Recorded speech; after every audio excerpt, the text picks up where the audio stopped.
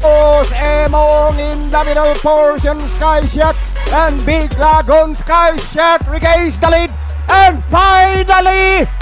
close finish